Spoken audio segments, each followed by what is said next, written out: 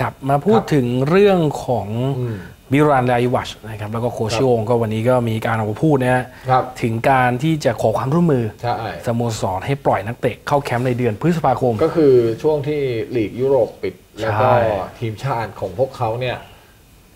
กำลังเตรียมตัวบางทีมก็เล่นฟุตบอลโลก แต่ก็มีอีกหลายทีมเลยที่ไม่ได้ไปในทัวร์นาเมนต์ฟุตบอลโลกก็ก็จะใช้ช่วงเวลานั้นแหละอือฮึเลือกเดินทางไปเก็บตัวที่ยุโรป สักแป๊บหนึ่งครับหรือว่าอะไรยังไงเนี่ยเพื่อที่จะได้อุ่นเครื่องเพื่อที่จะเต็มทีมเพราะว่า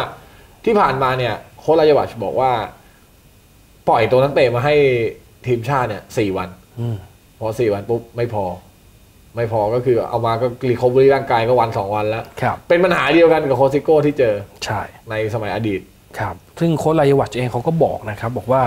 คือจริงๆเนี่ยมีหลายทีมเนี่ยติดต่อมาที่สมาคมเพื่อขออุ่นเครื่องครับทีมชาติไทยครับนะครับในช่วงที่เขาจะเบรกที่จะเก็บตัวก่อนไปรัสเซียกันใช่ใช่นะครับราเยวัชมองว่าจริงๆอะอาจจะไม่ตรงกับ FIFA Day ก็จริงอ่าแต่เขาบอกว่าถ้าช่วงนั้นเนี่ยขอความร่วมมือสโมสรอ่านะครับให้เบรกนะครับแล้วก็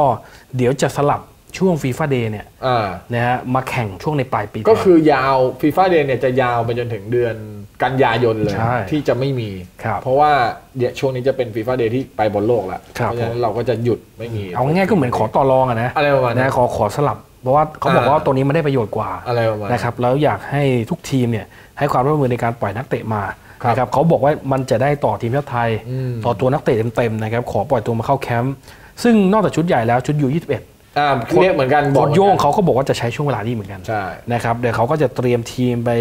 อ่าเล่นเอเชียนเกมอ่านะครับเขาบอกช่วงนั้นโอ้โหถ้าเอาจริงอะเวลาไม่มีเก็บตัวเวลาแทบไม่มีเลยถูอะกต้องถูกต้องนะครับนักเตะหลายคนก็อยู่สโมสรใหญ่นะคงไม่ได้ใช่ปล่อยมาง่ายๆ แต่ว่าถ้า